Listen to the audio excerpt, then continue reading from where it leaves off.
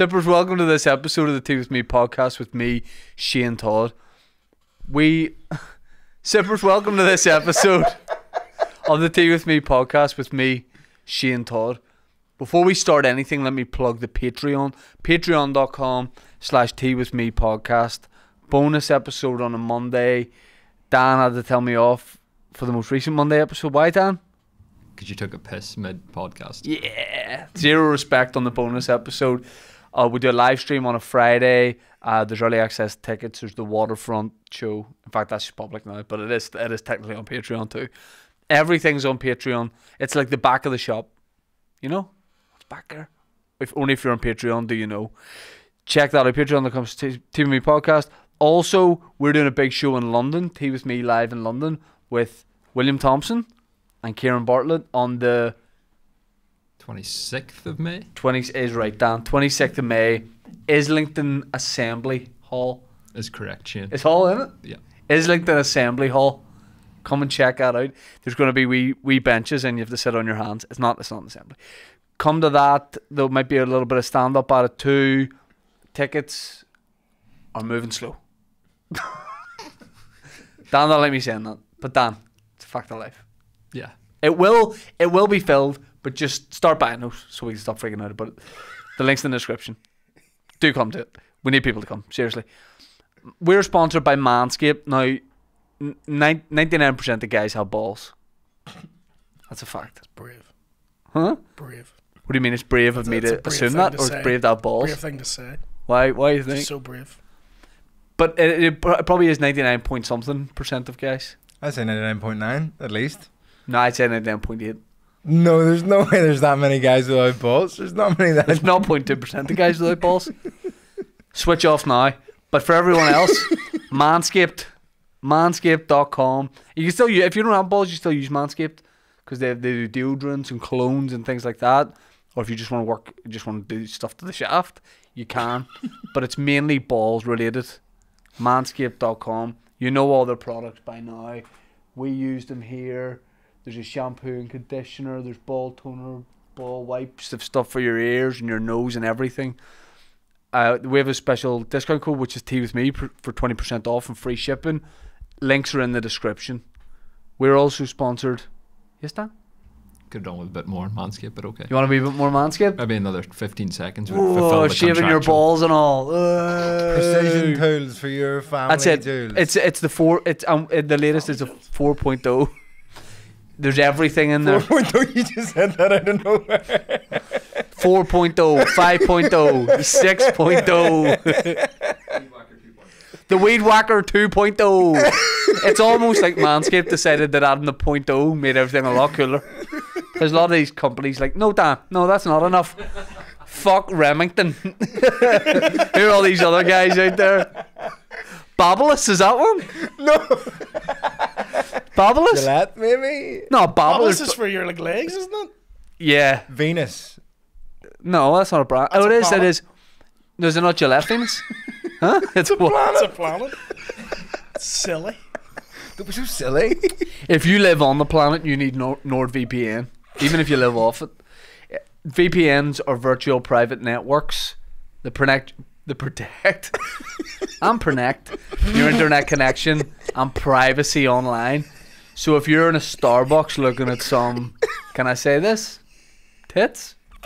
You need to be protected. I like the You thought. also need to be in jail. I like the thought that you're just on your laptop and looking at a woman's tits in Starbucks and going, I've got a VPN. I've got a VPN. Sorry, is there oat milk on this?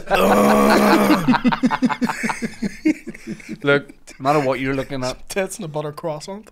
look if you if you like if you're weird about what you look at online and you're looking at pub like if you if you're looking at um local like the intermediate league gossip column or something? You know if you're like whoa who, who's Dollingstown gonna sign but you don't want people to know that's what you're looking at. NordVPN it shields your IP address. All right? If you catch up on podcasts in public using Wi-Fi make sure you're not the only one listening. Russians. Russian podcast. Russian yeah. Vodka with me. Um, you can take cybersecurity to the next level with NordVPN's threat protection feature. You don't even need Dan.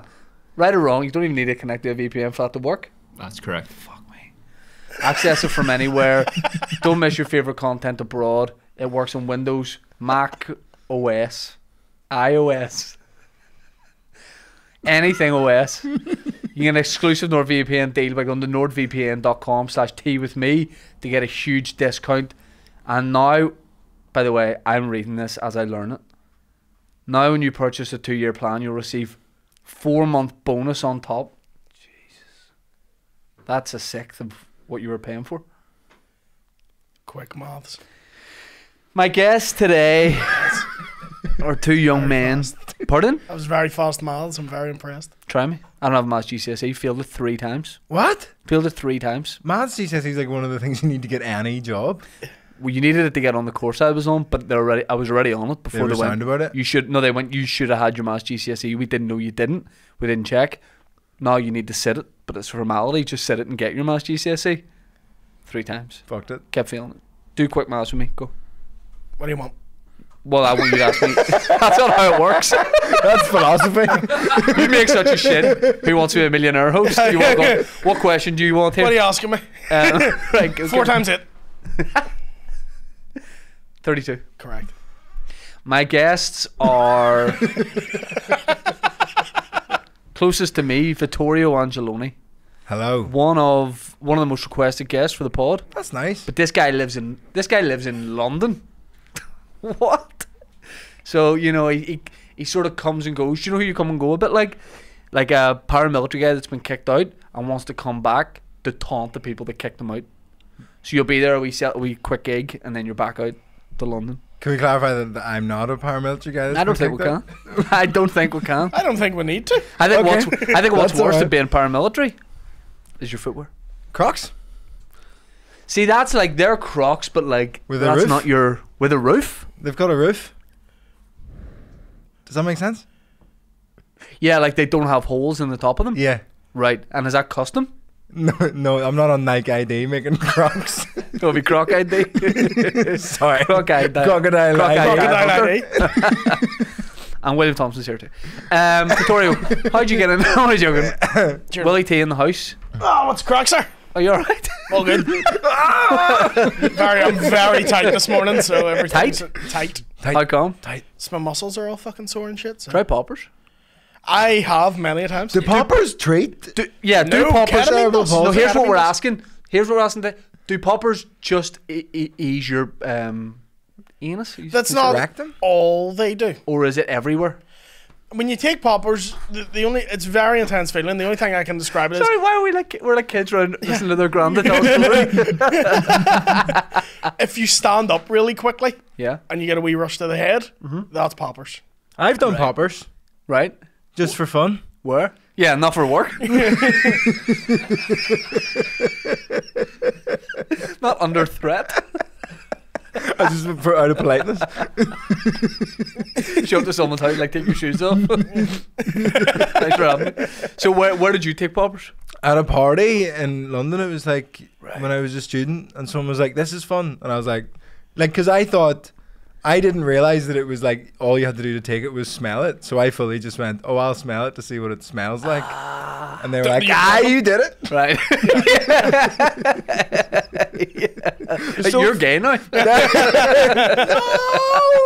not again. and how did you feel? It's it's like exciting. Right. You know what I mean? But I didn't feel the bumhole relaxing. Right. Well, Maybe it was. you alre- maybe it already was. I don't think you do, No, but, but it happens. You might have just a relaxed anus anyway. I think I do. Um, It's something I've worked on. and you love it, poppers. They're all right. Yeah, they're not my favorite, but I'll do Right. them. what are your favorite bum relaxants? Oh, just a nice bath. I am Just a nice bath and some at the party. Yo, get the Radox in there. See, a nice bath and just a lovely wee story at the end of the news. Seems like someone finds a lost dog. I'm Oh, like, the the heartwarming one Yeah, at the yeah. end. But they don't do that anymore. no I don't think so. local news they do. It's all doom and I don't watch. There'll always be like a net. He was shot seventeen times, and now a young man at the local community centre has found a way. I don't know. It's Yes. always something really fucking boring. Yeah. Uh, to, to, after all the doom and gloom, and that relaxes me. They makes went to me dig happy. up a time capsule, but they forgot where it was buried. Ah, oh, At the- Fruits. you know. I have a time capsule. Says the guy does poppers. All right. Do I? All right. yeah. I I did a time capsule at the Millennium. But Sounds I like an E the way you're saying it. Like it was a pill called a time capsule. Anyone oh, want a time capsule? but I don't live in that house anymore. Do I have any jurisdiction to go in and dig it up? It depends. Is it like Is it listed on the deed of the house? Yeah. like the house, the garden. No, but I think. Do you think that's capsule? that's surely etiquette? If I show up, oh, I did it. Can I? Although I don't know the etiquette garden. around and time is it under the floorboards? Like if you have to Does anyone? excavate the living room? if they've redone the garden, Mm-hmm. then you don't have any right to it anymore. But if the garden is as is and slightly unkempt and it hasn't been looked after in the way you specified, Yeah. uh, then I think you can go get your. What was in the time capsule? There was an old 50p, which was the 50p at the time. You you boys won't remember this. They were a lot thicker, the 50p's. you couldn't lift the 50p by Are they still an yourself. nonagon? Hmm? They're still a nonagon? No, they're a I thought you said, and a stun gun. I was like, no. That's My not, 50p. that's not reflective of my life in 1999. they always have to use this to get my dad. Um, Septagon is a 50p, isn't it? Seven sides. I thought it was what a did I hex- tell you about maths? I thought Not it a was a, pentagon. I thought it was a hexagon. That's where the president lives, you fucking idiot. Tongue. Uh, do you know how you know that no one really cares about Joe Biden?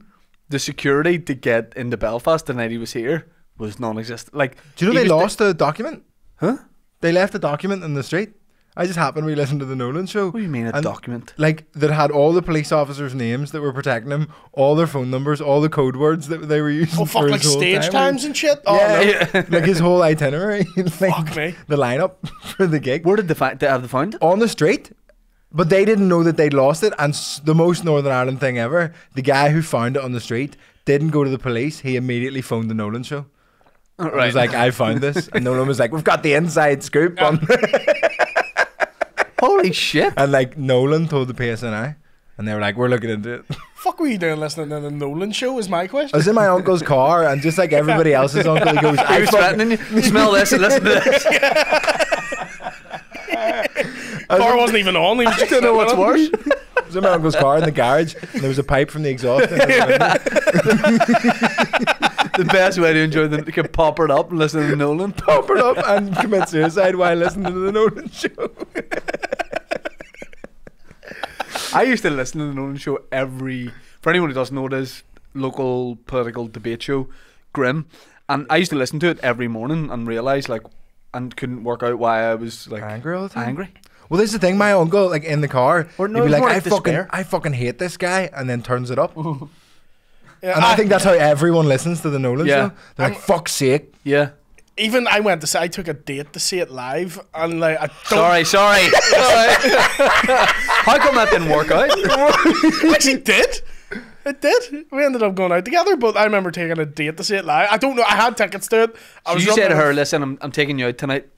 We're going to Well, sit yeah. for f- probably three hours Yeah. in Yeah. Blackstaff Studio to watch people debate Yeah. local issues." Did you ask any questions? No. Excuse no. me, what do you think about this? Nah, I'm just sitting there angry. That you're sitting there raging for 45 minutes. Yeah. It's like the old bit you used to do. You'd sit there being like, "And what do you think about murdered families?" And then he'll just go, "So I have to cut you off. It's Chico time." Yeah, yeah, And yeah. he'll bring out Yeah. like a weird because they guest. always overran, so they didn't have a time to segue to the guest. So yeah, it would be like, so yeah, you know, yeah, you lost your legs in this and blah blah blah, and then the, the guy go to talk and they'll be like, actually, here's Nathan Carter, and the guy's still like, yeah. no. se- And by the way, the audience were never like this. is a bit weird. As the audience were only there for the Bought music in. guest, so they're like, fuck, get this guy off. Yeah, yeah, yeah. You know, I, I used to do Just one wheel him away. I talk Can, about this can all you the time. remember ever like classic Nolan episodes? You know, ones where everyone was watching. I remember, the Katie flag Hopkins protest was a being big on. one. Yes. I talked to- about this recently. The flag protest, they didn't have warm up. That was the only time they've ever dropped it. I don't know why they have stand up before the show. I, That's did- that such a that funny crowd was warm-up hot. I do they were remember, ready. right? And I did do a bit of stand up at this years ago. Um, there was one week where I was just sta- I would go on stand up and then I'd just be in the green room, but it mainly just be me because everyone's either waiting to, in the wings to go on the show or Yeah. whatever. So it was only me in this big BBC building, and they brought a runner brought this guy in. Mo Farah brought this guy. Sorry, right? They brought this guy in, and the guy was like, "You weird, right?" And they had a sharpie with him and something to sign, and they went, "Shane, Shane must introduce you to." Say he was called Kevin. Must introduce you to Kevin. They went, "He's a he's a bit of a super fan," and the guy's like, "Yeah." And I went, all right, okay. And I've been doing stand a good few years at this point, so I was like, all right. And they went, yeah, yeah, yeah, he, he, he, he loves it, like he loves it. And I went, all right, man. And I was chatting because I was like, fucking hell, this is kind of like a wee bit of an ego boost. Hmm. So I'm chatting away to him and all, and don't seem that interested. I was like, he's obviously like nervous and you know about meeting me, and I'm like, yeah, yeah, I'm, I'm gigging away. I had to make conversation. I was like, yeah, I'm gigging away here, and a bit awkward doing this. Talked to the guy for half an hour, and he's stand and he's waiting to get something signed. And at the end of it, I went, uh, do you, I had to like go or I had to do something. I went, do you, do you want me to sign that, mate? And he, he's like, no, no, no. And I went, fuck, it's weird. He was a super, it was Spandau Ballet who were performing. the show. no one told me that because at one point I went to him like, "What was the first gig you saw?" And he's like, "Oh, Birmingham." I was like, "I've never performed there." Like, no, no, no, Birmingham. Well, This guy's gonna murder me. Uh, but he just wanted to meet Spandau Ballet. How long did you do the, the warm up for Nolan Forks? You did it for a while. Ten episodes, I think. And the first one, I talked about this on a pod recently. Can't remember who was on, but the first one absolutely killed. It was unreal. It was brilliant. I went, "This is class," and it never worked again. And it was people would look at you being like, "Why are you doing this?" As if From the audience? you Yes. decided to do it. You Let me do phoned up turn. the BBC and gone, Let would me you do a mind turn." if I- I did this? What's the most out of context gig you've ever done? People be like, "Oh, I want you to come and do a gig at this," and you get to it and you go, "There should be no stand up at this." Well, I mean, apart from like the, I did like a car park one during COVID, where Yes. they were like to. It was like drive, drive, yeah, like a drive-in drive-in. cinema type thing, and they beat their horns when you, you when they thought it was funny. Sounded like you were on Westwood. Hold up! Now, Punchlines, baby. I saw those and uh, those gigs, and that was the time where you couldn't do any stand up. Mm. So I was jealous. I was like, I want to go and do those. Were they? Was it grim? So bad. A couple of reasons why. you- sorry, you're on stage. Hundreds of cars, presumably. Like 80 can't hear- cars. Ah, okay. it's the centre forecourt. You can't. I was host. I was MCing, and I went on, and I was like, just as a check, right, just to see what the crack is. I haven't done one of these before. Um, can everybody, like everybody, do a massive fake laugh and round of applause just to see if we can hear anything on the count of three? One, two, three. Complete silence. Because they were all in their cars with the windows up, and they were just like, just the, a muffled like, Now, if they like it, they beep the horn. If they don't, what is it? Hazards? no, They don't like something. But there was some, so I didn't do these ones. I was lucky enough to do one of the horn ones, where. But the problem with the horn ones is that it is that it turns like your natural response to hearing a car horn is oh fuck I've done something wrong. Yeah. So when 80 cars are like, "Bah," you're like, "Ah, I'm sorry, I'm sorry, I'm sorry. but then the other thing is, people don't, if people laugh, they don't immediately like hit their horn. So there's like a delay where you had to say the joke and then wait a couple, because they'll laugh and then they'll hit their horn.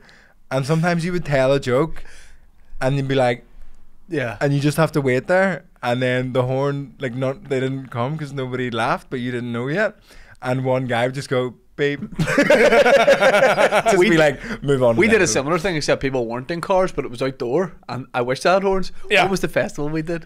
Um, Dalriada? Dalriada. I think we were on straight after an ABBA tribute act. so it's this big, massive stage, and there's a couple of thousand people. It's like a big, big field, and they're just finishing up Waterloo, and then I'm coming on being like, "Fucking ISIS!" what? Sorry, some kids pissing They also themselves. weren't doing support, by the way. He's talking about the material. But me, you, and Diona did it, and it actually, like, the weird thing is when you uh, actually look, there was people, like, listening and enjoying it, but you just never got that. yeah no, I I got- because to of this. It was one of those gigs I came out of going, that was fucking awful. So many positive messages yeah, after yeah, it. yeah. But during it, you're like, this is terrible. You go through about 20 minutes of material in about four minutes. was Yeah. it worse or better than that one we did in Woodville It was better because there was more than four people at it. Didn't you Brutal. do an outdoor gig set up for thousands? yeah To, like, a, a couple of. Was it? Was there a couple of like dozen? maybe 50 people. like maybe, and they were at picnic tables Being serious, how much could how much could the area have got in if you ran people? In? At into it? least a thousand and I think he's being conservative with that estimate. Like, it was a massive, massive park. area. Literally. I remember someone did you dirty with a photo of it because it was like whoever was on stage, the giant screens, and like they could have gone beside the eight people who were there, took a photo of the back of their heads and framed that. But they took it from like the back Loads of, of like grass. a hill. Yeah. Loads and loads of grass. It looked like we were doing like a sound check while the gig was on. Yeah. That was fucking terrible. Wasn't there that story of at Stendhal, uh, Cormac McDermott was doing the the big stage in the middle of the festival, and like Yes. like kids are walking through, and he'd said to them like, "I'm just gonna do my set, like I'm not changing anything." Yeah. And he walks on, like, because there was a separate stage where, like, it was me, Mickey, and Robbie did a show, and it was great because it was like tucked away. Yes. So anyone who was there wanted to be there. Yeah. Yeah. But the main stage where the other show was on, were you on that show? It was the Woodland stage. So if you don't know the Woodland stage, it's like, for those who don't know, there's Stendhal layout. it's a little fucking pyramid Yeah. stage, really. It's very much the, the the studios of Disneyland of Stendhal. So there's little mushrooms and seesaws and little. It's basically like a playground where they set up a stage. Right. So there's kids just playing games and Everywhere. Cormac's on stage being Cormac, like, Cormac, Cormac walks on and goes, "If you brought your stupid fucking kids, you can suck my dick." and I'd be like, and this fucking fat bird was on my face. I'm just fucking rimming her. That was his But it was all hippies are at it. So They just like, introduced Brian Kennedy. That was hip- a, yeah, it's hippies. It was the Yeah. maddest thing I know. because we did a little lap of the audience of the tucked away gig and went, just so you know, it's going to be like ov- mostly over eighteen. So like, if you're not sure about like if the kids or whatever, and these like mad hippies just went, just said to their kids like, "Oh, you guys go," they love it. and these four year old kids just wandered off into a music and you're, festival. perfor- Yeah, you're I- performing to 50 year old man who have dreadlocks and they're white. Yeah. I've done Stendhal a load of times, and the the parents love it. Yeah. When you swear, the more vulgar, because they the, the organizer are like, yeah, you just watch that and stuff. But the parents are the ones that are really into it. Yeah. The dirtier stuff you go, Yeah. and you're right, they just send their kids off. Because it is a family festival, so I feel everyone's walking on eggshells.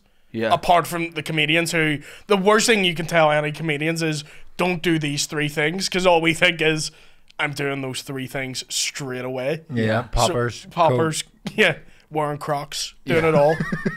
Worst corporate you've ever done? If there's any that springs to mind, you go. You your your eyes lit up. Yeah. What's yours? the one we did together, it was me, you, Paddy, and maybe Kieran or Diona. It was the Limelight Freshers Fair of, oh, I'm going to say, 2019. Tell me why you think that was bad, and I'll tell you why I think it was hundred percent. The stand up didn't need to be at it. So, Yeah, but the beauty of that was, not one person was listening. It was a huge freshers fair, and they People were were like going to all the milling about, getting stalls. pens, doing the whole thing. We're in the corner. some people are getting tattoos, and there's a DJ who People I don't getting even boojum. think stopped. We're in the corner doing stand up. I think that was fine because that was well paid, and not hmm. one person was listening. So it's not like I think that was fine, do you? Because as soon as you were finished, you literally leapt off stage and ran out a fire door. Well, that's not the behaviour of a man who had a good one. that's the behaviour of a man Thank you so much. yeah, no that that is. So I said the dom. I said the dom because what I hate is I knew it was going to be like terrible, but I don't like doing a gig you know is going to be bad, and then people come up to you after and they're like, "Mate, that was brilliant," and all. Just because they're just saying it. Yeah. I don't like going through that. If I have a bad one, let's talk about the fact that I had a bad one. Yeah. I remember just saying, knowing what the gig was going to be like, and I said to Dom, keep that fire door ajar there, because when I'm finished, I'm going to walk out to my car and leave. You're like Kevin Hart. Yeah. Straight out Yeah. the door into the Hummer. And I was I did it before him. Where's Aaron Butler? Um, so I'm gonna be getting hit for that for no reason. You fucking on that podcast. Butler showing up to Kevin Hart's house. And why do, do you see how that could come across? So bad? um, I need So- to listen because I'm I only got filled in on the drama yesterday. I, I I don't mind those ones Mm. where they're just no one's listening at all, and we can just like do it and Yeah. go. I left a gig. I did that once where I left during the. I was doing a gig with Paddy McGackie in a place called Safe House or something. It was a wee art space in the Cathedral Quarter, and it was a real like they say like alternative arty gig. It just was not really great. it was BYO, and people had nice wine. right, yeah, You know what I mean? And like Yeah. Estonian beers, right? And um, the height of class. well, the ambassador was in, right? So I go on and uh, I, me and Paddy McGackie been doing a gig, and this is maybe like 13 years ago. And on the way back, Paddy's like, "We'll jump in there and see if we can do a gig." And I went on, and they just like didn't like me at all. And I remember for some reason, what stands out to me is I was wearing a 300 t-shirt. Remember the movie? I had a 300 Yeah. t-shirt. I was the only guy that had merch of it. You- Which wa- what did it? Did it just say 300, or was it the guy booting the guy in the chest? No, that would have been cooler. It was just like the movie logo. Weird, just right? papyrus font or whatever. Yeah. so I Are remember you sure that was merch? It was no. It was offi- I remember it being official merch. If you'd have told me Papyrus Font was a guy in the movie, I'd believe you. Papyrus Paris Font's the guy with the dreadlocks. Papyrus font. Father to a murdered. My kids are off getting falafel. Um, so I remember going on to do five minutes, two minutes in, going, they don't like me and what I'm all about. And I went, but this is, they're all being a bit alternative and wacky here. So why don't I do some like a wacky stage thing? so I, I was like two minutes in. Why I don't I pander? I went. I, I was like, "Why?" I, sorry, guys, my phone's vibrating. I went, "So sorry," and all. And I, I took it and I went, "Hello." Huh? I, said, I, I- remember saying to him, I went, we'll, "We'll go with this," and I was like, "Hello." What? Hmm. My, my mom. Right. I'm just doing a. Get, okay. Oh, I'm I'm coming. Oh. That's my bit. And I put the mic in the stand and just really slowly started like walking towards the. It was a wee small art gallery room. And I just walked towards the door. I went, guys, I'm so sorry. Ran down the stairs, walked across the road to my car. And as I got in my car, I remember everyone from the gigs, there was like 30 people, ran over to the windows and was looking down all concerned. And I just went, got in my car and just drove home. it was all made up. I just wanted to leave. They thought someone had died in my family. And Paddy, I forgot to tell Paddy. You set this up so strange. You're like, I'm gonna do something wacky. I, I knew I was going to leave, so I pretended to them. I was like, I'm gonna, you know, some mad phone call, and then I was like, oh, I'll pretend, I'll pretend someone's died, and then I just got in my car and went home. It's the fact And I you forgot went, to text Paddy McGacky and go, mate, that was only a joke, because he texted me and went, everything all good, and I was like, yeah, yeah, yeah. I just, oh, Paddy's so sweet as well. yeah, I was like, I think Paddy's still there, waiting for me to come on. it's the fact you went here, guys. It's So we'll go with us. Yeah, to yeah. The hospital. Yeah, and then I just dead? dropped my face and I was like, fuck. By the way, that's not what wacky means. yeah. While you're like, guys are like, see that guy who's there's an mad died? artsy crowd. Crazy. That'd be a really funny, like, 40 minute sad bit in a Fringe show. Just be like, oh, f- every day. There's, a, there's a story of this man. Well, he's just about to change his show. no, that literally is my show. Oh, yeah. I just remember. That literally is my show. Oh, I just remembered. yeah.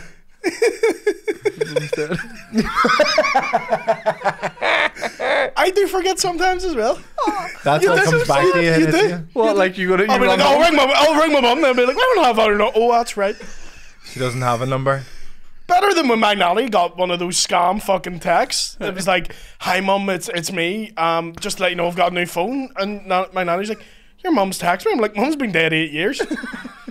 so not only has she been resurrected, she's got a new tariff as well, has she? I don't think that's her. I know she's not resurrected because she would not be with Vodafone. So that wouldn't be her. Yeah, it's like she's in heaven, but she's got an android. Er oh my! There's I this, thought that was as er wacky there's as this I could Scouse get. comedian, uh, Liam Bolton, who's fucking mad. Like, you literally he never bald? know what he's gonna. Yeah, He's phenomenal. so funny. Yeah, he's really good. Like amazing. Like, but he, you never know what he's gonna do, ever. Like, he's been on at the weekend, the hot water, and just walks on and hoovers the stage for 15 minutes, right, and then just leaves. right. And there's a story of him doing a. Which, by the way, I can tell if you're in the room at the time, ten out of ten hilarious. But there will be people listening and watching to this going, What? right, like Yeah, what? like, but what's good Yeah, that that? that that'd be Yeah, hilarious. amazing. To, to have like Paul Smith MCing. Yeah, like, and just be like, yeah. It's so funny. But there's a story of him doing a gig similar to you, where it's like the stage has like big windows behind it, and it's in um, I think it's on Bold, no Hardman Street, Liverpool, and it's across from the bombed out church, which is like such a funny name for a, a place, but it is a like we were there. Oh, that's its name. It's called the bombed out church. oh yeah, The- It's like the shell of a church, and they do like little events, and sometimes it's like a beer garden. yes. Liam was on stage. He comes on stage, and uh, it's like 50 people in the room. And he walks on, and somebody like you know, occasionally when you're walking on a stage through the audience, somebody will reach out a hand to like high five you or like fist bump you or like shake your hand. And he shook this guy's hand and went, "Oh fuck," and shook the guy next to him's hand and went, "Oh fuck." Shook the guy next to him's hand. Went, oh fuck, and just shook everybody, all fifty people's hands in the room. And as he's walking back up to the stage, the big windows there, he goes, oh fuck, runs downstairs across the road. All fifty people go up to the windows and look. He's across the road at the beer garden, shaking hands with everybody in the beer garden. and he's murdering in a room that he's not at. And he shakes hands with everybody, runs back upstairs and goes, I'm Liam Bolton, thank you very much. And just fucks I mean, off. the worst thing is being on going on after that and going, "Oh, my dad's weird." It's terrible. What's even worse is that bit just not working. but he wouldn't know. Committed to it. He wouldn't know at all. I can't get over the idea the bombed out church. Yeah. He was walking around the rubble that man like, I'd love a pint in here. Yeah, but it, it's beautiful. It looks class. So we we did, we were doing a gig in hot water in Liverpool on my tour about two years ago, more, Was it that long? maybe a year and a half, It was post COVID. right? Um, and we trying to do a Post Malone joke there, and um, Do you know what's even worse? I was thinking of that Yeah, too and yeah, went, yeah. I'm not gonna yeah, yeah, yeah. Let's leave it. yeah, yeah. Do you want to leave it? Let's, Yeah, leave it. Let's Unless not we waste got the people's something. time. Nah, Workshop it. I've got none. Um, and Always tired also applies for post COVID. Yeah, we should have left it. yeah. yeah. so I have to deliver a letter to the Upper Lisburn Road later. You could say I have to. Anyway, um, deliver No, no, I got deliver it. post No, along. I got it.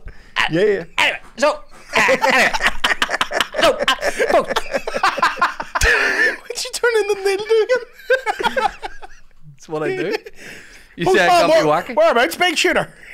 So So niche for us. doing Liverpool on tour. There was a fire in the venue. It was the the craziest thing about it was so it was in the basement. We probably talked about this year a couple of years ago on the podcast, but just as we were about to go on, Yeah. Everybody's in the room. The whole crowd's just there waiting. and they're the packed into the basement of hot water, and so, uh, manager comes in and very calmly in, in her. I think we'd already done like a five minute call, like the show Yeah. is about to start. The music's playing, and she comes in, the manager, and very calmly in her Scouse accent goes, "There's a fucking fire!" She's the manager. Fucking fire! Yeah. Run! You know when people are like, "Don't run," she's like, "Fucking run!" and I thought that was Liam Bolton on, so I'm like, you know, listen, don't worry, he's just doing Yeah, unannounced just does spot here, so it's all good. You know when people, you know when you do that thing of like, you don't run, you like you don't leave, like the fire alarms are going off, someone's like, "Run!" Yeah. Everyone's running, like you're going, "Come on, Yeah. come on, this is all good." I'm settled. I'm not getting up. there was a point where we went, oh no, this is maybe real, but it was because it was a crowd of pe- a lot of people from home who were over in Liverpool. They weren't as quick to leave. If that happens in London, drinks are Everybody's smashing, out. everyone's Yeah, out. There was lads like, but I've I've half a pint here. Yeah. You know me, willing to chance it, and like the guys in the Just Titanic. A, a flame being like, Yeah. it was eight quid. There was like four guys, like the the band in the Titanic, just like a pleasure in a cloud with their Smithwick's, just like nah, lads, you go on. And um, I remember the main fear for me was running out, and I had just, if you remember, I just bought a coat in Zara that day You had, yeah. in Liverpool one, really long. Which you you know, I do my every mummy day. coat. Every day of the tour, you buy a new coat from Zara. Yes, and this is my long mummy coat picking up the kids from school, and I remember running out. and I remember looking at you and thinking, you know, listen, should one one of us should maybe go back and Get, get the coat. and I remember I waited for you to offer, and then I was like, I think he wants to survive, so I went out myself and did it. Um, and I remember. Com- coming out of the coming out of the smoke, and they were like, "He saved someone." I was like, "It's 105 pound," um, and we were standing like us and the whole audience, um, on the side of the road, and Liam Bolton was there. That's the night I met him. Yeah. So he was there. And the reason I'm bringing it up is you mentioned the bombed out church. We went across the road. Adam Rowe came up to me. He'd been doing a show in the venue earlier that night and went, Why don't you just save? Because the fire engines are coming. There's a fire. And he went, Why not go across the road? The bombed out church have a. It, no one's in it.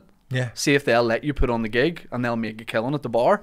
I remember going over with Adam and going to the barman, just really quiet Wednesday night. It was like, Yeah. do you want the 150 people in here now? And I, I'm do, going to do stand up. And he just went, I have to. He lapped it. He's like, Oh, yeah, I'll have to phone la- yeah. somebody. And then they didn't want to do it. But Do you know why? Because he's clocking off. It's a quiet Of. Wednesday night. He's like, hey, do He's you want delighted for a 150 here so you don't get to go home early? Yeah. No, I don't. but the fire engines were out, out there for about an hour and a half, and I wanted to pull it, and everyone's going just because it was it was a late show anyway. Yeah, it was supposed to start at half nine. It was supposed to start at half nine. It was about twenty past ten, and I was like, "We That's are bedtime. not And And starting the the whole show." crowd had just been standing in the street. A few people went to the pub across the road. People got carryouts too. yeah. People went and got carryouts, and then we ended up doing the show, and I was so worried. Remember, I was like, "It won't be good because people will just want to talk about the fire. Yeah. They won't be interested in any actual material." Um, and it was one of the best. Yeah, I went on and did three minutes at the top. Yeah, about the fire. Shane was like, I'm for bed here. Can you Yeah, do yeah, three yeah. minutes? at the Yeah. top?" And I was like, I did mine. Shit. weird? I did half my shit in FaceTime walking back to the hotel. that was why. That was that's a night I'll always remember. I think I might have booked you for one of your worst gigs, and I still feel bad about it. I wanted to talk to you about this. I've been holding on to this for I a long don't know time. this. So I want to know your side seven of it. years ago. Uh, it was when I was like second year in uni, so yeah, maybe seven years ago. So I get a mail. Would you like to come over to London? This girl's like, I'm entertainment manager or something at a university. Yeah. We'd like to book you for a party. Was it a Paddy's Day gig? Uh, I think it was just a stand up. We were doing like a comedy night. We'd like to book you to come over. And I'd never been asked to go anywhere outside of maybe like Moira. Okay, right? yeah. So, sorry.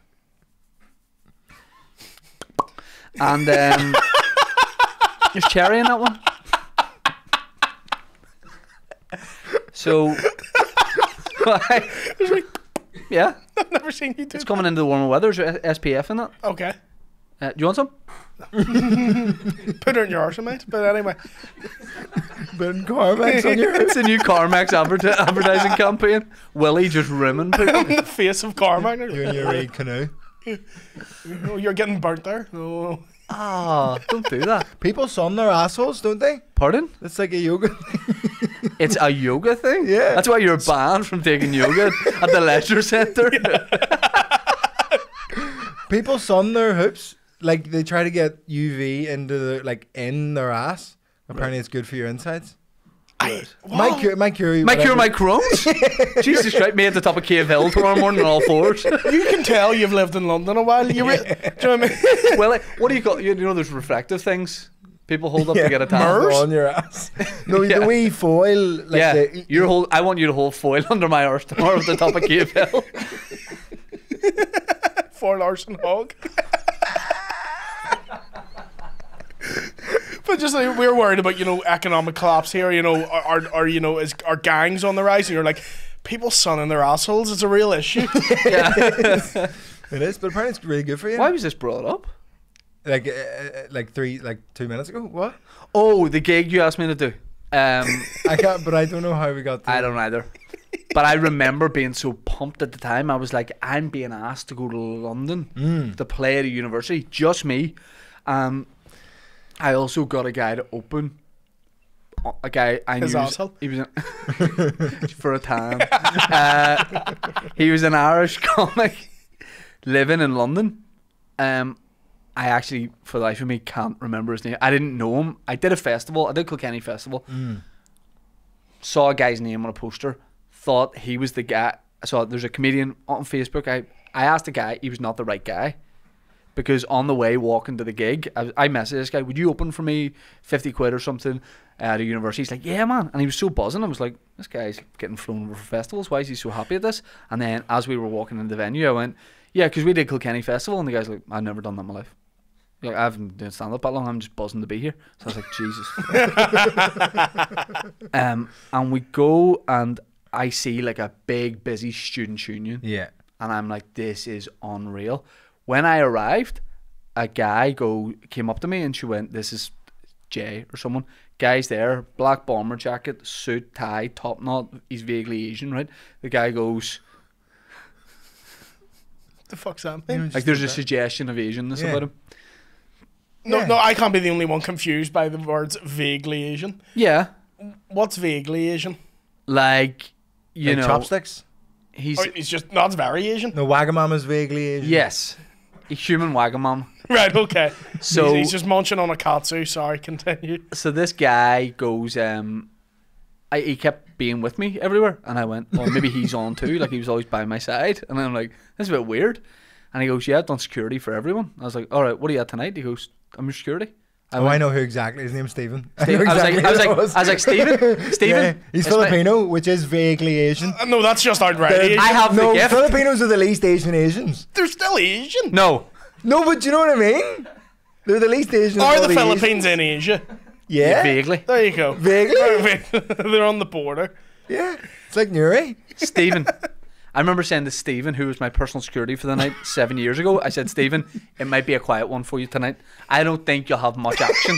he goes, but I'll stop people getting to you. I was like, no, let the, I like, I want to say a little bit. I want praise or whatever. Like, I've never had this in my life. So I had a security guy. They take me to this, like, they go, this is your, like, green room, your dressing room. I was to do, like, 40 minutes stand up or something. And it's a room that holds about 50 people. Yeah, quite a long room, but it's like nice. but it's just cordoned off for me, kind of. So I'm like, this is okay. Well, I went, where's the gig? And they point out the student union bar, pool tables, all that kind of thing. And I went, right, right. Well, there's still like quite a lot of people here to see me. They get whoever the fuck goes on, right? Some guy who you messaged. Some guy, Some like, guy who's there at your request, but you don't know who he is. some guy that I was that I thought would be great for it and wasn't the Imagine guy. a guy seeking you. I mean, you, can you do warm up? You show up and he's like, "Who the fuck are you?" The guy didn't do, Such a the guy didn't do stand up. no, he did. He's just an Irish guy. He just worked in Sports Direct. He had to go on. Uh, this guy goes on, and to be fair, is okay. But I realise very few people. There's maybe like 40 people here for the comedy. Everyone else just is in the student union. You know, one of those ones where it's not closed off. There's just people there. Some of them are interested, some aren't. And I remember at the interval going to the girl who booked it. Let's take it a bit like the bombed out church. Yeah. Let's take all the interested people and put them in the room purpose built for the amount of people who are interested. See the room, the, the bespoke performance room. Stephen, me and Stephen will move chairs in there. We have time. And she was like, you know, one of those ones where she's like, and she's totally dead on, but she's like, yeah, I just don't think. And I'm like, I don't, but could, we could do this. Shout out to Rachel. We could, Rachel. If me, you, and Stephen, me, you, and Stephen could have had this set up, I know it would look like a Netflix special in there. And they were like, Stephen's like, nah, nah, I need that for your personal space. You know, I need that as a panic room. I'm like, Stephen, I'm panicking that no one gives a fuck about me in this room. And and I remember, I remember like doing a set, and I remember you and maybe four or five guys watching and I- everyone else was watching fucking Big Break. People playing. I outside feel theatre reference. so bad. So what happened was, uh, I was just sad on stage. I really pushed for you to like to for us to like fly you over for the gig. Yeah. I was like, he's fucking class. Yeah. it's gonna be unreal. He'll need his own detail, security detail. I was like- Stephen, make sure you're free. What's your recollection of that gig? so I You said this guy is he's big deal back home. this is before I've started stand up. yeah. I was well, I was like vice president of the students union, so I was like, Oh, hold on, hold on, hold on. Sorry. Yep, that's a confirmed cool guy alert. yeah, I'm staying in the Grand Central Hotel. There's more security for you here than there was for Biden. Nobody give a fuck. He was walking about China, China, getting his dinner. We're like, All right, man. Being really racist to everybody in there. Stevens there, like, mm, I don't think I need any of this. That's not even Asian enough for me. He was a Filipino, Filipino. anyway.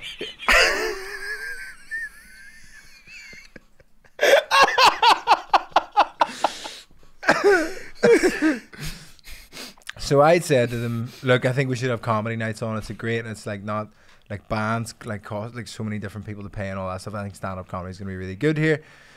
So I said, "Shane's fucking brilliant." Blah blah blah blah. So you and then it was like, "Great, we've got it all set up," and it's like, and it is quite a cool venue. It is, yep. Like even though it is like a full student union, the bar is like just there. And I was like, "This is gonna be great," because it's normally very quiet in there. It's not like a really busy student union. But the problem was the uni symphony orchestra had had a concert that night, Mugged by the symphony orchestra. so a hundred people all arrived to have their post concert like night out, ah, right. and I was like, as soon as I walked in, I was like, "Fuck, fuck, this is The mad horrific." lads are Like, here. 'cause of- It's the symphony Fuck, orchestra the hoods. bassoon boys have arrived. The cellist is getting chamomile for everyone. It's the bassoon ultras. Oh fuck. oh, did you hear that back seventh? I don't know classical music.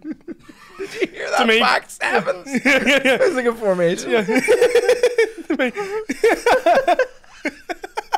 so the rowdy bassoon boys had arrived, and I was like, "Oh no, this is a nightmare." Stephen, prepare yourself. Can we please pitch the Rowdy Bassoon Boys as like a shit Peaky Blinders with the Rowdy Bassoon Boys? That's the maddest thing about music college is people still sort themselves into like bullies. Basically, music college is everybody who's been bullied the most in the UK all goes to one unit. Right. But then people who play the bassoon decide they're an alpha and start being mean to people. Oh, so I was going to ask, what's the like, what's the big, what's the big dog instrument to play? well, the bassoons that like it's the brass, like the trombones and the trumpets. They're like the cool kids. right. They're the fucking boys. Yeah. They're the boys at the back. You know And what I who's the ultimate bitch? the ultimate bitch? Like oboes. What is an oboe? Uh, you're fucking telling me, mate. I, I, I have no idea what an It's oboe like is. um, uh, I have no idea what you would have heard that would have an oboe in it. Uh, it sounds like a duck, like it does. It's just like meh. No wonder these guys get bullied. whack, whack. And now the theme to Rosie and Jim, the oboe guys, are yes. This is where the boys shine. But th- this is the weirdest thing about my start to stand up is my first gigs were all in that room Right. to a music college crowd. So I ah. like my first few jokes were all like the most specific things ever, but still like horrifically dark. Right. My first joke that I ever wrote was, "What's the difference between a bassoon recital and an abortion?" And it was, no one's ever cried at a bassoon recital. I do that bit. Aaron,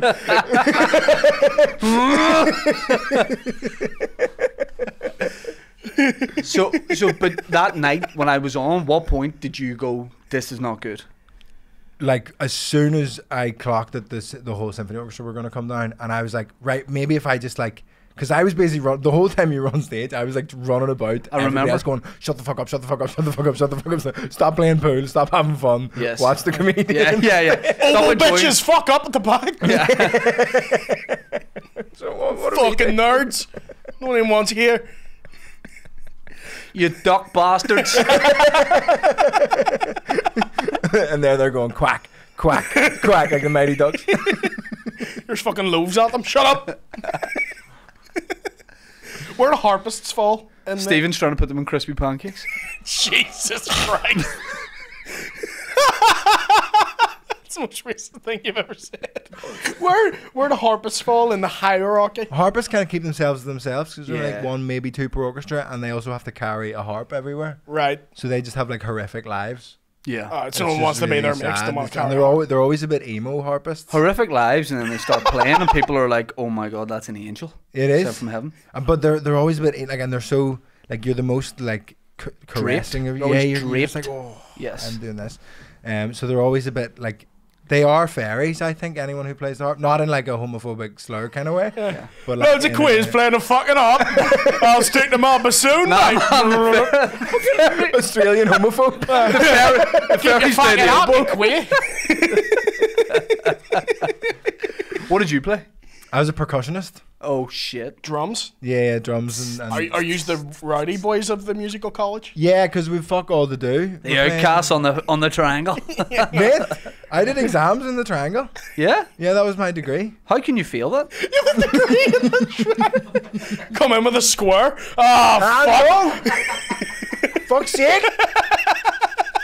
That's the wrong Teletubby head. the wrong Teletubby. The guy playing the Oppo, he also failed. That's great, Teletubby banter. Fuck yourselves. I don't get it. Opo. there we I don't get it. But that's one. that's one where it, like they're the most frustrating ones because they they're not terrible, but they could be good. Yes, and It's I when just it could remember I good. felt my heart broke when you were on stage and went, guys, I hate Open to that do fire this." you went, I hate to do this, but can, can everybody just like shush everybody? And I looked I was like, thirteen at the time. Yeah. That's And you're, just and you're only 31. But it was like the 40 people who were there were all like, he was brilliant. Uh, but it was that thing of like nice messages, but you didn't. Yeah. Enjoy you just it. had, were having a terrible time, Yeah. and I was just like, "Fuck." Yeah. I think now I'd be way more confident to actually just move everyone into that side room. Yeah, just, Just, be go like, grab "No, your chairs, let's go. Yeah, Because Van Morrison did that We At went. the Students' Union? yeah, he was on first, but the That's the opener. You'd accidentally message Van Morrison. Well, well, Robin Swine, uh, who at that point wasn't. No, that's why it didn't work.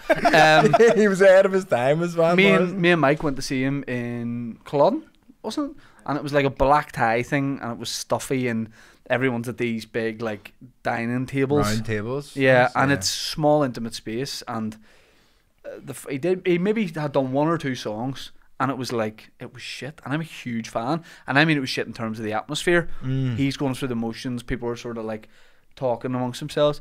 And then he just stopped, and I went. He's. I said to him, I went. He's walking off. He's not going to do this gig. Mm. And he goes. Uh, he just stopped, and he went. Listen, I'm not continuing until everyone grab grab your seats, bring them close.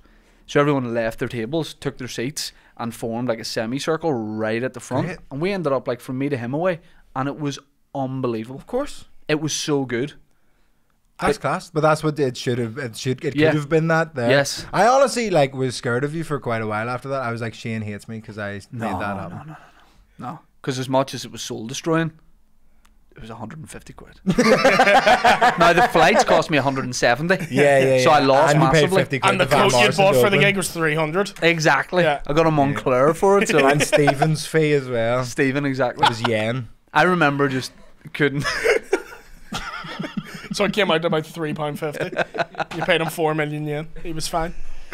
I could. I remember. I. I, I, st- I still follow him on Twitter, and, and occasionally like he he likes something or whatever, and I just I remember having a real laugh with him and being like, "You will never have an easier night Yeah. in your entire life." Yeah. No one's trying to like get. There's no comedians don't need security. Probably three comedians in the world need security. Name That's them. it. Kevin Hart, Paddy McDonald. No, he is the, also the security. Yeah. Nah, like Or like Kevin Hart, because uh, Chappelle. Somebody tried to attack him on stage. Dave Chappelle. His security did their fucking job that night. Well, didn't Jamie yeah. Foxx like kill that guy or something? Well, have you seen the guy Team Me exclusive. when he got wheeled out and his arm is literally bent the Yeah, complete fucked. wrong way? A bunch of. Did they like, suspect just you? A, just a, So sorry. I just wanted to do warm up, David. David, David, please. David Chappelle. so funny to call me. so that. disrespectful. David, Chip, but it should be more respectful. In school, everyone I hated the culture of people being called their surnames. So I Oh, only call yeah, yeah, people yeah. their first name. Yeah, that's normal. I don't like the surname thing. It's strange, isn't it? only for the odd person because then it, it like makes sense. Or if there's What multiple- school did you go to where they're calling people by their surname? Hogwarts. Fucking It's what? a thing. No, but I know. What, I know what you're thinking. You're Nerds. thinking like super posh, like like Mr. Todd. Would you would do whatever? Like that's not. No, it's not Wind in the Willows. I'm not expecting to be called Mr. Todd, but even just Todd. That's no. But like you're. But if there's like Teachers Teachers would would, call- teach- two, teachers will call you by your surname. I hated that. oh that that wouldn't happen in my school. Right. It was only like we would call people like there was two Kierans in my year, Right, so it was Foster and Rogers. right. So Sound like Rogers sound got- like a decent folk act. Rod- Rogers got called K Rod. what? Rogers, Kieran Rogers got called K Rod, even though Kieran was spelled with a C. Well, he's one. But we all called him K Rod. Did you ever try and push your own nickname when you were younger? Because Uh, by the way, what did you, what did you with Vittorio in in Belfast? What did you get for short? V was most of it. I keep my uncle. There's like weird ones that only a couple people call me. A couple people call me Vito. My uncle and no one else calls me Tory, which I hate so much. Oh, Vittorio, I thought it was like a political thing. He's just like you hate poor people. right. Um, but Tory? No, you don't want that. no, awful. That's but the worst one I've ever Is this had. the uncle with the Nolan in the car and the poppers? exact same? yeah, He's it's all coming together. But did you ever try and push a nickname because you didn't like any of those? Uh, I think I aimed for like Vimto for a while, but I I don't know why. I just thought that would be funny to be called Vimto. It's nice, but you probably want to ditch that at what, twenty one? That's late to be ditching Vimto. I'd love to be twenty in Vimto. I was Tizer up until I was twenty five. Tizer? Yeah, no, Why not called Tizer? but I like it now. Call start calling me Tizer. Willie T, you Tizer. so no, I you used- can't say Tizer. I used to get called the Undertaker in primary school. Because your mum died?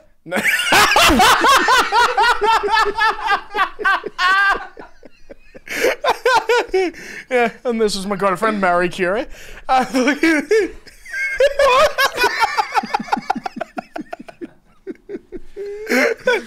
No, it's because I used to watch wrestling, so when people were like like slobbering at me, I used to do what the Undertaker did and just start going.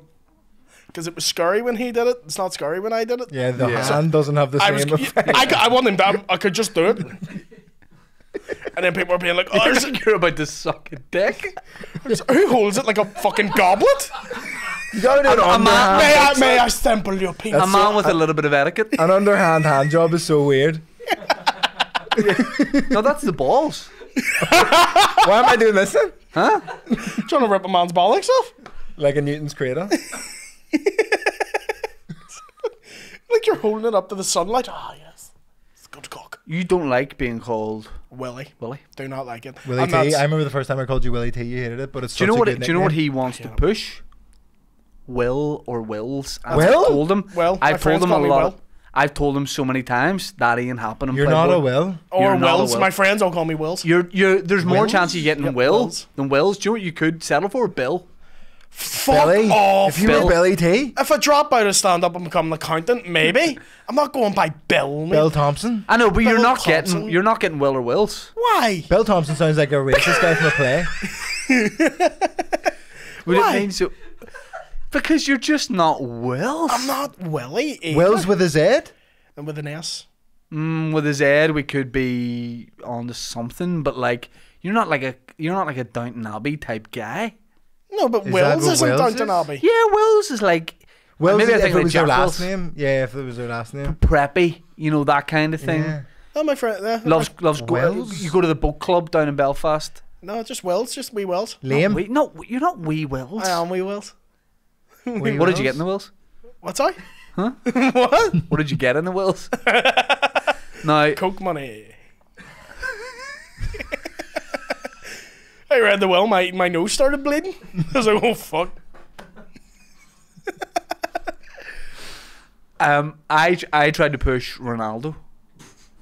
A lot of people did around For you? around 98, 99. Yeah, yeah. Everyone wanted Ronaldo. I had a co- I have a cousin Connell, and we called him Connelldinho, That's decent. which is great. But why would you be Ronaldo? Ronaldo was just He's like the the, biggest ultimate guy footballer. then. I was a massive. Ronaldo Everyone fan. played football, wanted to be like, But you you wanted to be so good that people would just call you Ronaldo all the time. yeah, That's fucking wild. I know. I pushed it for about four days hard and didn't get any return. I think like my dad called me it like because I made him once, you know, and he's like, I can't keep doing Go this. Go by Ronaldo now. Stop Um, misgendering me, But then you saw me score that goal mate. in Lurgan. That's the greatest goal anyone's ever scored, even though we lost eight one. I That goal was worth eight, I think. I remember the moment of one of the guys in the other team going, "My daughter f- thinks she filmed that on her phone," and I wanted to like go home after it, and I hung about to Waiting wait for, her to his get it up, daughter. and then she went, "Oh no, I don't think I got it," and I went, "Open that fire door," because I'm leaving right now. You're outdoors, Yeah, and you run into the changing room by accident. Yeah. You go through That was fire the door. first comedians football game. The second, you didn't score any more worldies at that, did you? against the cerebral palsy boys. Yeah. No, but I The cerebral palsy. I set up- missed I the set cerebral Dan palsy game. Did you not play the cerebral palsy game? Fuck sakes! I set up Dan most- for an absolute screamer during that. You did. The And I hit most the crossbar. vicious. I had a I had a phenomenal overall game. I was very hungover that day because I remember Dan shouting at me because I let one of them run past me because I was like, I'm too fucking tired. Yeah, we played the cerebral palsy boys. What? Yeah. It was the most vicious game of football I've ever played in my life. For see for him it was like going back to your old club. It was like a testimonial. Yeah. Yeah, yeah, literally, yeah. Played a half for each, Yeah, no, It was a no, great oh, game. Yeah. It was a great game. but they were resting some players because they were playing the Bassoon Boys next week. These boys were not resting. I've never seen intensity like it. They were wild. Some of these boys are just they were tightly sticking wound. in the people. what? Wasn't Paddy playing? No. No. Who Paddy's played brother, me? You, Sean Johnny plays. Bo, Dan. Dan Dan scored a great goal. Um, did. Sean. Sean Haggerty? Sean. Sean was very good. I remember Sean Sean, Haggerty being very good. Yeah. We'll have Uh, to do more of that kind of stuff. We do, we do. I'm trying to play football everywhere on my tour. I'm gonna Same. just like jump in on a five-a-side game Yep. and just play because I don't exercise apart from just playing football with. In New York, I did a high school roof, rooftop pitches on a high school. Football. As in, ma- like built them, Five-a-side. Huh? like built them. Yeah. That's what I'll do on tour. it's not practical. Like I have to stay for You ages. just, you're a day labourer and then you do stand up in yeah. I don't always do the gig as well. you, but you're, you're just I'm a there- builder. You're stood there with all the Mexicans on the side of the corner, just like any work today. I don't sound like it. Stephen. I got you, Mr. Dad. I like in my head. Stephen is the same guy that plugs the city tours outside City Hall. Do you know He's more must have Belfast than I am. The Chinese guy with the thickest Belfast accent. Have you ever done the Belfast tour? No, city tours. It's Aye. brilliant. I did it with mates who wanted to do it, and I went, you know, I, I, I, I, kn- I, can I've seen you these enough of. Belfast. I know Belfast. Yeah. I didn't know any of that stuff. It was really good. Does he take them, the Chinese guy? Not the one I did. Not the one I did. But I think he just good. plugs them. I think he's just a flyer. I don't think he's He, on the he bus. could jump on if he needed to. yeah, yeah, yeah, yeah. Definitely. I love that guy. Time walk past it. He's like, oh, city tour, mate. You're like, you City have tours. the thickest accent out of anyone I've ever met. Yeah. what I would like is the reverse. I'd like you in Beijing. That's a whole like TikTok uh, trend. People White guy speaking Ireland going over Chinese. to. Oh, right. White guy speaking Chinese. Oh, who's the guy? Asians. Who's the guy who goes everywhere, and he like he pretends he just speaks English. He's a white guy, and then wherever he is, he'll just and they're like talking about him, Yeah, yeah. and then he'll drop drop into whatever it is, and it's it's like not just the mainstream languages. He'll do a bit of like what are the mainstream languages? English. English, Whoa. Portuguese. Portuguese? You went Portuguese fucking early. That's not when there's mainstream. two Speaking countries Brazil, in the world. big country. Yeah, but that's Ah, two you're right, countries. it's speak- Portugal it's and Brazil. Spanish.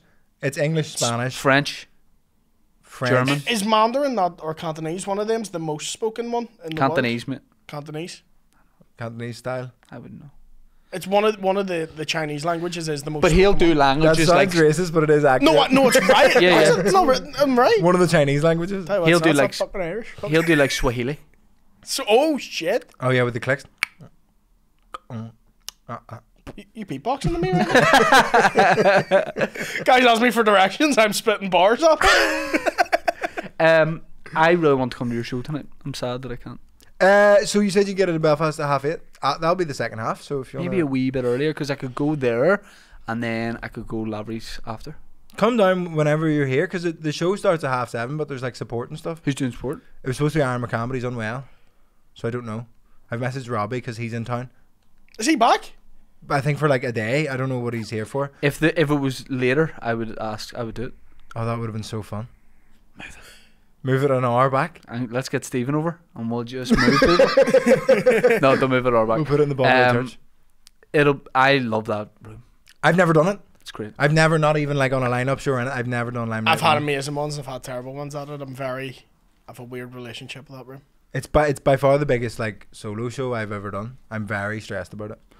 Is there like a weird detail you think you were thinking, like walk on music, or do I always end up with a wee thing where I'm like, why am I spending so much time thinking about this? Yeah, well, I'm go- I'm I have a tricky thing because so much of my stuff is like, or like my stuff online is crowd work. I go out before the support act Yeah. and do a bit of hello, what's the crack? What do you do for a job? That's stupid, ha ha ha, and then bring on the support act.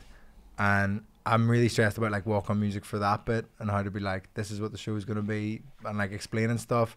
I've got merch for the first time ever. I'm stressed about that. Okay. I don't know. It feels weird to sell merch, Mm-hmm. but I did like it's just all stress. But that's that's a comedian's thing of us just being awkward guys. yeah, Because Yeah. it's not weird. Like people want to buy. it's a concert with a lot of people coming to see you, and they probably want to get like you get messages. Oh, I thought there would be this and that. Yeah, And you're like, no, no, no, I, I, I'm, I, I can't do that. I can't, I can't That's sell you the, the thing, thing. you want. We have never did merch for our podcast because we can't settle on what to have. I've never done it in my life. you should do like half and half. I'm scarves. looking at them. Oh no, but I mean at a live. Oh concert. right, no, I mean we can't settle on what. To Imagine I still denied it. I was like, no, man. I'm like your face is on it. no, don't That's think it just a brand. Um, I've never at a any sort of concert ever sold What? merch. Sold merch Never, at any of your gigs. never. See, you were giving it all the big talk about. You know, people just want it. Why are you stressed about it? You That's just what I do it mean. all I the mean, time. we're weird guys who like. yeah. Yeah, but you don't have to just do that. stand at the counter. No, no, no. Like I having am- just seen you on stage and then being like, I like, am doing that. and I that's can't afford three to- fifty back. Are you doing a I back? can't afford to pay anybody, so I'm just doing. I'm at the merch table. But I think that's good because see in the states, say there's like a club, big like top club like Zanies or something. Mm. Say you have an act come in, and I'm t- I'm not talking like an act everyone in this room would know. I mean like a, a road comedian in Yeah, America yeah, who's yeah. got a load of credits. Hundreds of people will come see them. They'll sell out the shows, and then they do the merch after, and they Mm. clean up. That's a lot of time where their money is. Yeah, well, that's it. And the strange thing about because it's my first tour, you don't get any of the money up front. Yeah. I'm fucking skint. Yeah, It's so funny. I'm getting like mega buses to sold out shows in England It's so fucking stupid. I love that people might not know that brand of megabus and we're like, fuck me, Vittorio's got himself like a giant bus to go to the limelight from his house. you on the Stena line? um, what merch you? I'm always interested in the merch people have. I've I've got bottle openers and stickers for like the back of your phone or for a laptop. Um, the sticker is because the the head of the Edinburgh Comedy Awards spoke to me after the nominations and said, "I think you're really good. I think you could do really well in America. You'd have to thin your accent though." right. And I was like very angry, so I made merch that says the stickers say thick accent, but it's thick with two C's. Get you. sexy big thighs accent thing. And then a lot of the shows about uh, English people stereotyping Irish people and like all the stupid stuff they think about us. And they think we're all drunk and we all drink all the time and all that stuff. So I've got bottle openers that say fighting stereotypes on them. I think that's funny. So sticker and bottle. Sticker bottle That's opener. handy to travel with. That's the thing because I did I did support for Dan Nightingale and he had mugs. I Right. know mugs is like hugely your thing, but like We fucked it when it came to mugs. hard to travel with. How'd you fuck it with mugs? Went too big. That I was gonna say that's a fucking colossus of a mug. Let me go. Let me go into this right. You're like challenging Sports Direct with that.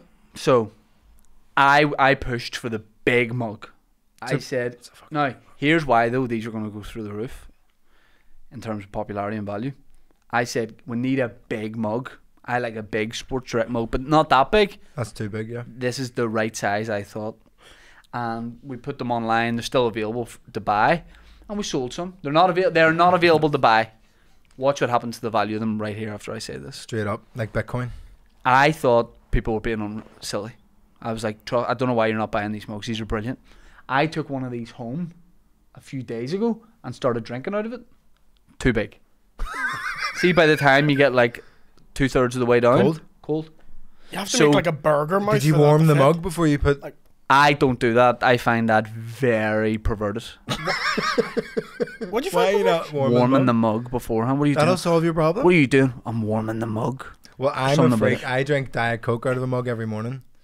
Nonce. My my my nanny does the warming thing. Like if I'm waiting on my dinner, she's like, "Hang on, I'll heat up the plates." I'm like, "No, I'm hungry now." Yeah, Oh yeah, my The plate freaks doesn't- out about cold plates. Yeah. yeah, yeah, yeah. And like you're yeah. starving waiting on your dinner. It's like just ten Yeah. minutes on the plates. I'm like, I'm not eating the fucking plate. Yeah.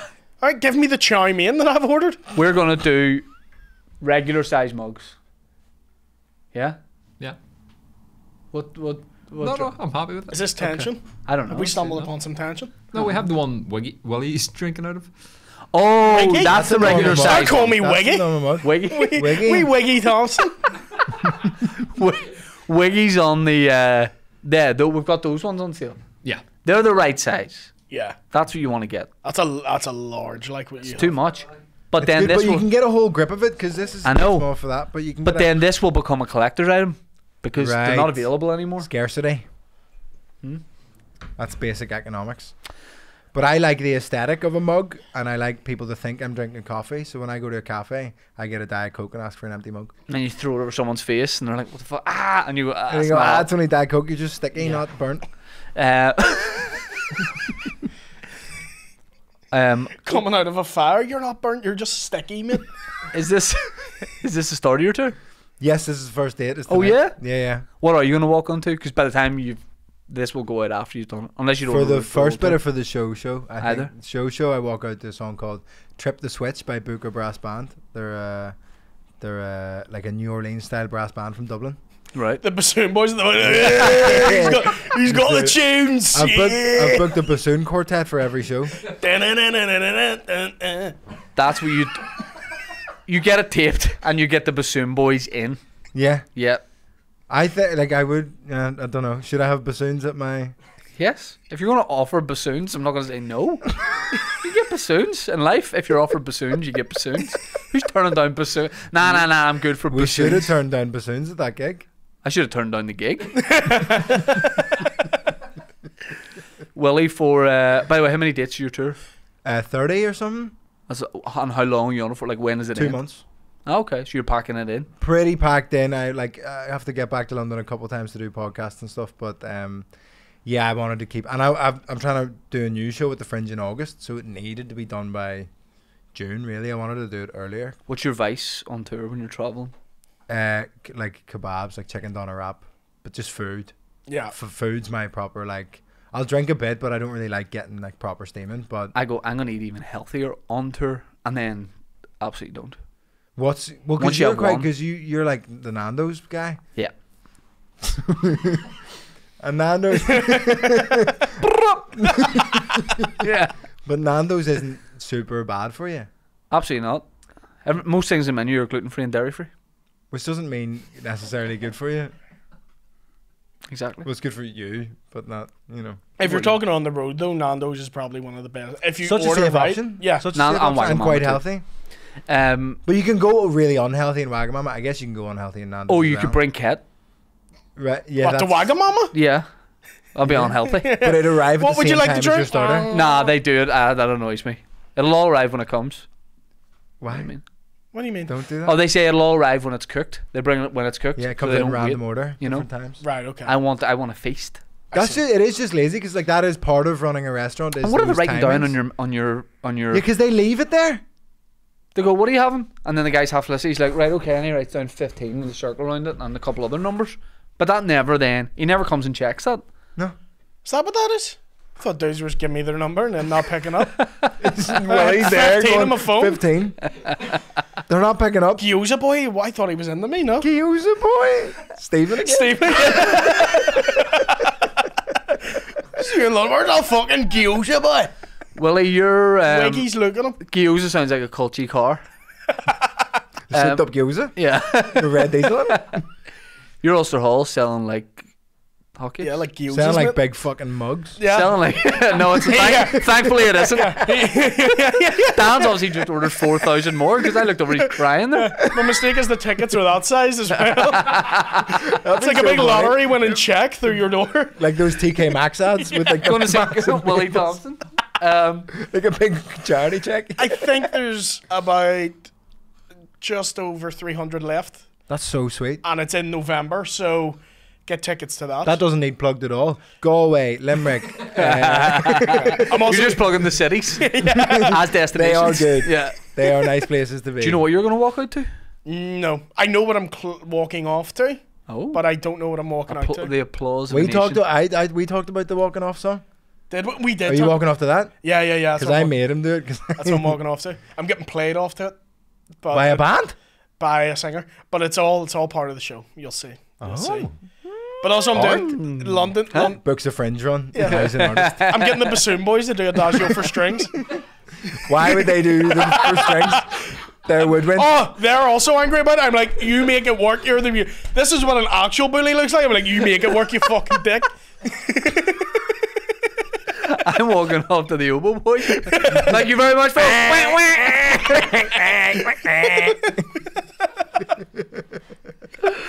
But Oh, it's good um, laugh. shows that need plugged. I'm doing the Pleasance Theatre in London. you didn't laugh, you cry. There's an autistic comedian on the open mic circuit in London, and anytime he gets a big laugh, he gets spooked by it.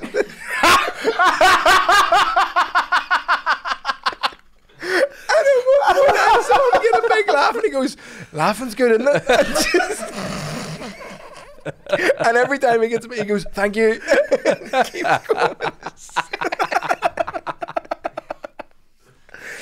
It's like being a crocodile hunter, and anytime you see a crocodile freaking out, oh no! might not be the job. You're in the wrong- He's just like, "Oh fuck, they're laughing." the fireman who's scared of fire. Um, although if he wasn't scared of fire, he might not be a good good fireman. Might be a bit lax about the Mm. whole thing. You're doing the Fringe? I am doing the Fringe. Uh, before I do the Fringe, I'm doing the Pleasance Theatre in London. Can't remember the date. I'll need to get that. But yeah, I'm doing uh, the Pleasance Cellar at half five in the Fringe. I'm very excited. All of Oh fuck, we just clash. Don't go to him. Come to me No, at fuck him. six twenty-five. Where are you? Fuck that cunt. Where are you? Monkey Bar Four. Sounds like a film that. Uh, who's that? Four guy? point oh. Ray Liotta would have been in. Danny Trejo would be in Monkey I'm gonna Bar. change it on the poster. I'm gonna make it say Monkey Bar 4.0. Yes. Trust me. It's It worked for fly. Die Hard. I'm excited for the Fringe. There's a lot of us going over. Yes, Kieran. Kieran's coming over. You're Kieran, there. I'm there. Mickey, Mickey Robbie's gonna there. be there. It's gonna be the first time we've been over, and there's like loads of friends. It's Very cool. good. Very swag. I like it. Yeah, it's my first hour. I'm shitting. I am shitting myself. Don't worry about It's it. It's not though. That's what it is. It's my first Fringe hour. Well, your first Edinburgh Fringe. Yeah, yeah, yeah. You've He only does 59 minutes. before. Yeah. He only does 59 minutes. Fringe. Or an hour and three, you know, but This is gonna be first hour, first First sixty. hour. Yeah. It also has to be 52 at the fringe. You can't really do an hour. You know. Yeah, yeah, yeah. You You have to did get for changeover. everybody out. But yeah, it's my first run at it. I'm shitting myself because I've heard horror stories, and then you hear from people going, "It's great." I had a great time. The Fringe is did. class. Like comedians slag it so much because they approach it in this weird way where they're like, "We're like, I'm just gonna do like club stuff and make it funny the whole time," and then they get like not good reviews, and I'm like, "Well, yeah, because reviewers are weird and like Yeah. super sad artsy stuff. So Yeah, don't like you know that that's not what you're doing. So don't fucking stress about Yeah. that. I because I'm trying to do like a weird like sort of, and I don't do artsy stuff, but I've been doing it on my work in progress. I made someone cry at man. That, that's what Mum? you- comes. I, it'd be great just to hear something from her, Vittorio. How did you make? You'd be someone buzzing if With- you were with like, the man. with the show. With, with the sad bit, they cried out, and then laughed again after. Art. Ah. What like a laugh like ha ha ha. That's so sad. Oh wait, he's dick.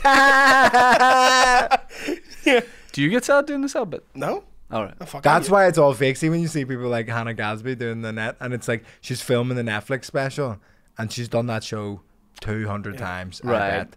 And she's there like welling up on stage. I'm like, you're not. Yeah, no, That's why There's I find way. that's why I find the the comedian who does like that real like angry big mad rant and they're on the ground and they're going crazy and it's like this has been workshopped. Yeah, yeah. It's no, I don't. like I'm that. literally just talk, like I'll change how I talk. Uh, like I'll be a bit softer with the sad bit, but I'm not being like. there, like what? "Ah, damn, Thank you. Thank you so much. Thank you. Yeah, you did that recently. Uh, William, when we we're in a restaurant, when he's saying thank you, turns into a 14 year old private school girl. thank you. Oh my gosh. Thank you for that. Cunt. thank, you so you. much. It's it's called manners. Yeah. Uh, Do you know what I I'm realized recently? I say wee boy. microwave wrong on stage. I have a bit where I say microwave like seven times, and I've been like saying did. I've been saying microwave. Microwave? Yeah, Oh, okay. Your Mic- mate Mike's in the microwave. crowd like you have to really get that the hard R on the microwave. the hard R. you want to drop the hard R, guys? Microwave. I'm still saying it. You know? um, so your whole, we'll put a link to the whole tour in there. Your Belfast show has has already happened. Yes, When this comes yeah, out. yeah, will have already happened. Belfast shows are sold out. And then the Fringe as well would be cool, but it's all on the same link. Willie T. What date's the Ulster Hall? Fourth of November. Yeah. Fourth. Of Remember, November. remember. the fourth of November when I blew up the Ulster Guy Hall. Fawkes. Imagine I don't get laughs and do bomb it. Fucking no one's doing a show right now. It'd be, it'd be really funny to do a whole stand-up show with a suicide vest on. Mike in one hand, button in the other. Laugh or no And one's saying like- stereophonics next week. As if that's what people are living for. They're like, I didn't get to see stereo. Fuck, I just want to see Dakota live, for fuck's sake. I couldn't think of a single stereophonic song. to I make that exact- See if, Please, I have to step all my old size nines next week, fuck's sake. stereophonics are good, right? But if you sang their songs to people and they never heard it, you know, you know, they have like they're brilliant, like Mr. Writer. You're like, what? That's so shit. So, I used to sing that when I was like a like a toddler, but I had a really bad speech impediment. You were the singing toddler doing stereo. I used to sing everywhere I went. They came from oh. far and wide. My parents thought I had autism because I would just burst into song.